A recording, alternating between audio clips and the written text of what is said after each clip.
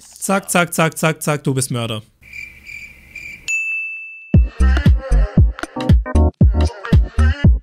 Und das heutige Thema sind Speedruns, aber nicht irgendwelche Speedruns. Und zwar geht es um die kürzesten Speedruns überhaupt. Wir fangen an mit Dragster. So, und Dragster geht gerade mal 5 Sekunden. Und Dragster sollte der ein oder andere kennen, und zwar ist es der älteste Speedrun, beziehungsweise der Speedrun, der wirklich durch die Decke ging.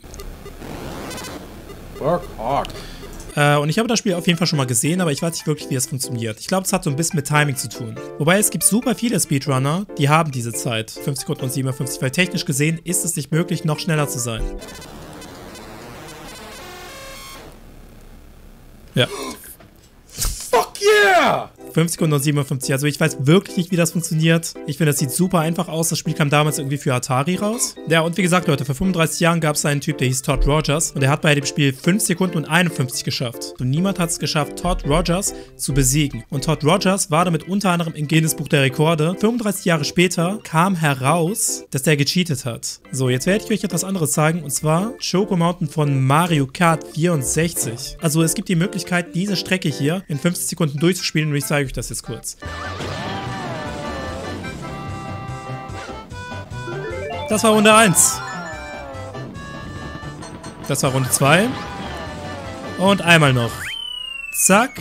15 Sekunden und 67. Das sieht zwar einfach aus, das ist aber unglaublich hart. Außerdem ist das so ein bisschen RNG-based, ob der den Frame trifft, dass Yoshi so nach oben fliegt. Und der Erste, der es geschafft hat, der hat wirklich Monate daran gesessen. Der hat monatelang gestreamt, immer wieder, wie er das eine hier versucht hat. Jetzt kommen wir zu einem Spiel, das heißt Two Worlds. Man kann den Endboss des Games relativ früh treffen, aber es gibt keine Chance, ihn zu besiegen. Man kann ihn nicht besiegen, also zumindest nicht am Anfang. Aber es gibt einen Trick. Ah, interesting guests. Ja, also erst einmal springt man über diesen Zaun. Und hier ist so ein kleines Dorf mit Dorfbewohnern. Die werden später noch wichtig sein. Genau, das ist übrigens der Endgegner. Also ich verstehe nicht. Also ich habe das Game nicht gespielt. Ich weiß nicht, worum es geht. Aber ich finde das irgendwie weird, dass der Endgegner so random im Freien herumsteht. Bam. Habt ihr gesehen? Der Endboss hat den Spieler getötet, aber es gab eine sogenannte Splash-Animation. Das bedeutet, die Leute drumherum wurden ebenfalls getroffen und die Dorfbewohner mögen es nicht, wenn andere Dorfbewohner ebenfalls verletzt werden. Also man lässt die Dorfbewohner quasi für sich kämpfen. Ja, Pierre muss man nichts mehr machen. Der wird jetzt einfach zusammengeschlagen. Ich glaube, der hat so ungefähr 4000 HP oder so. Und Spiel durchgespielt. Alles klar, Freunde. Jetzt kommen wir zu einem Videospiel, das heißt Clue. Und dieses Game kann man theoretisch unter einer Sekunde durchspielen. Der Weltrekord beträgt einfach 0 Sekunden und 7,3. Also es geht darum, einen Mordfall aufzuklären und den Mörder zu finden. Also man wählt jemanden aus und hofft einfach, dass er der Mörder ist. Zack, zack, zack, zack, zack, du bist Mörder. ja, das war der Speedrun. Jetzt kommen wir zu einem Spiel, das kennt viele von euch. Dieses Spiel heißt Getting Over It und das kann man theoretisch in 1 Minute und 30 Sekunden durchspielen. Oh mein Gott. Also ich weiß auf jeden Fall, dass die Controls sehr hart sind und man so ein bisschen braucht, um reinzukommen. Er hat das perfektioniert.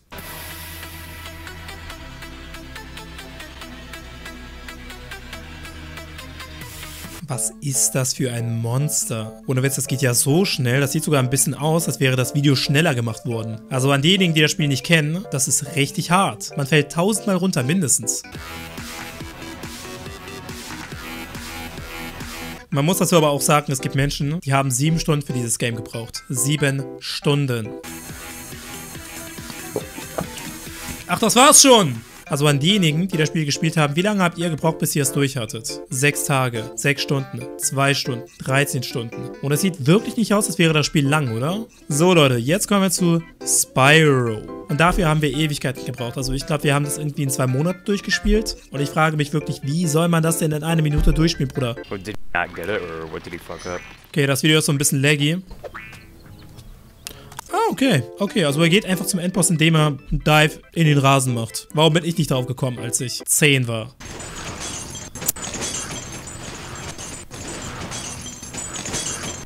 Ach, der ist immer noch nicht besiegt? Jetzt ist er besiegt. Okay, eine Minute und sieben Sekunden, crazy. Also ich weiß nicht wirklich, was er da gemacht hat, weil ich habe den Teil nicht gespielt. Aber es sah cool aus. Ich glaube, wenn ich Spieleentwickler wäre und das sehe, Ich würde mich schämen. Und jetzt gucken wir uns einen Minecraft Speedrun an. Ich glaube, es gibt einen, der schneller ist. Aber ich habe jetzt einfach den gefunden. 3 Minuten und 59. Also, man erstellt eine neue Welt. Und wichtig ist auf jeden Fall, dass ein Dorf in der Nähe ist. Und jetzt versucht er so schnell wie möglich zu dem Drachen zu kommen. Und da hinten ist auch schon das Dorf. Aber schon ein bisschen weit weg. Ich glaube, bei dem Weltrekord ist das Dorf noch näher. So, jetzt holt er sich ganz viel zu essen. So, auf jeden Fall versucht er erst einmal den Ender, ja, das Enderauge irgendwie zu bekommen. Jetzt erstellt er sich ein paar Emeralds. So, und da ist auch schon das Enderauge. Das ging schnell. Zack, und da ist auch schon der Drache. Okay, und was ist das? Okay, einfach fast die Hälfte an Schaden. Wie gesagt, das letzte Mal, wo ich den bekämpft habe, konnte man das nur mit Pfeil und Bogen machen. Deswegen bin ich gerade ein bisschen verwirrt. 3 Minuten und 59, das ist crazy. Leute, wir kommen jetzt zu Portal. Und Portal habe ich damals durchgespielt, selbst. Ich weiß nicht, wie lange ich insgesamt gebraucht habe, aber es hat schon sehr lange gedauert. Ich glaube mindestens 20 bis 30 Stunden, weil ich zuvor noch die Portal gespielt habe. Der Weltrekord geht einfach 6 Minuten und 53. Okay, ich glaube, er benutzt das Radio, um sich selbst zu katapultieren. Das kann man unter anderem auch bei Garry's Mod machen mit anderen Gegenständen. Guck mal, da oben steht einfach twitch.tv und dann sein Twitch-Name. Ja, ist ja modifiziert. Ist ja ein modifiziertes Spiel. Zählt nicht mehr. Er stellt sich schon mal zu dem Portal, wo es entstehen wird. Macht so ein bisschen Bunny-Hopping-Shit. Und jetzt passieren richtig komische Sachen. Warum ist er im Void? Wo schießt er hin? Was passiert da eigentlich? Warum lädt er? Warum schießt er jetzt dahin? Warum kommt er einfach durch die Wand? Warum ist er hier und warum... Gucken wir nochmal, was in den Kommentaren steht. I literally have no idea what is going on. Good job. Bruder, ich fühle das. Was. Bruder, ich bin so verwirrt, ne? ich verstehe gar nichts mehr. Was passiert da? Wo ist der? Was macht der? Warum ist er jetzt wieder im Void? Warum ist er... Wo ist der? Warum sind zwei Portale ineinander? Wo ist der... Also, dass der Typ, der den Speedrun macht, selbst nicht durcheinander kommt. Ich glaube, selbst wenn man hier komplett verstehen würde, was passiert, könnte man das nicht erklären. Wenn eure Mom reinkommt in euer Zimmer und ihr guckt das, schnell ausmachen, Pornhub an. Das kann man besser erklären. Ah, okay. Ihr müsst einfach nur in die Grafikfehler reinschießen. Dann seid ihr hier. Ach, warte, er hat das Spiel gleich durchgespielt. Der ist bei 6 Minuten und 10 und der Speedrun geht 6 Minuten und 53, Leute. Wir haben es gleich geschafft. Könnte ich auch machen. Das glaube ich dir sofort. Ich könnte es übrigens auch machen, aber ich bin zu faul, jetzt Portal nochmal zu installieren, Leute. Hm, das dauert mir zu lange. Sonst hätte ich das genauso gemacht. Wie weird muss es für GLaDOS sein? Der Charakter wacht auf, 6 Minuten später wird sie einfach vernichtet. Krass, Alter. 6 Minuten und 53. Okay, Leute, es gibt noch Mario World und dieses Spiel kann man theoretisch in 41 Sekunden durchspielen. Also ich weiß, wie das funktioniert, aber ich kann es euch nicht erklären, weil das viel mit Technik zu tun hat, viel mit Sprites und viel mit Positionierung. Aber auf jeden Fall muss man das hier machen. Zack. Münze. Credits. Und er hat das Spiel durchgespielt. Und ich frage mich, wie kommt man darauf, so etwas zu finden? Alles klar, Ocarina of Time. In sieben Minuten kann man Ocarina of Time durchspielen. Und das Intro geht richtig lange, Leute. Ab hier ist das Intro vorbei. Der Speedrun selbst geht 7 Minuten 34 und das Intro geht einfach 3 Minuten. Er läuft übrigens rückwärts, weil es so schneller geht. So, hier gibt es, glaube ich, das Schwert. Oder das Schild. Ne, Schwert. Schwert. Okay, er muss das Schwert equippen.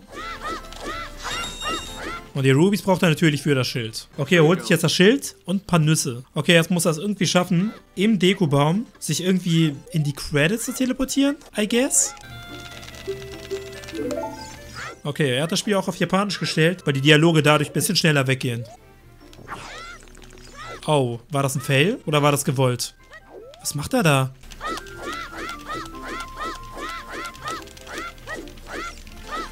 Glaube, die ganzen Gegner und Bewohner sind verschwunden, oder? Da ist ja niemand mehr.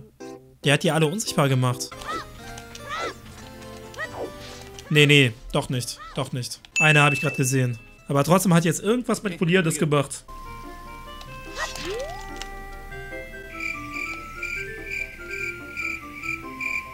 Was passiert da? Jetzt ist er wieder bei denen und hat nichts in der Hand. Stellt sich vor die Wand macht irgendeine komische Abfolge, wo ich mich frage, wie hat man das überhaupt rausgefunden, ne? Duck dich zweimal, das ist wahrscheinlich auch wichtig. Oh Ändert ein paar Mal die Kameraperspektive. That's the one. okay. Not too bad. I'm honestly, I'm a little surprised that I lost four seconds on that split, though. Die Leute, die immer Weltrekorde machen, sagen, hm, irgendwie war ich echt schlecht. Was war der Fehler? Also ich verstehe so ungefähr, warum das Spiel das macht, aber ich verstehe nicht, wie man darauf kommt. Alles klar, liebe Freunde. Ich würde sagen, genug Verwirrung für heute. Das war definitiv genug Verwirrung für heute. Bis zum nächsten Mal. Haut rein. Tschüssikowski. Und aber schön auf die Glocke drücken, Leute. Give me your addy, we pullin' it to your bed and then we gon' put it to rest with no click clap. Ooh.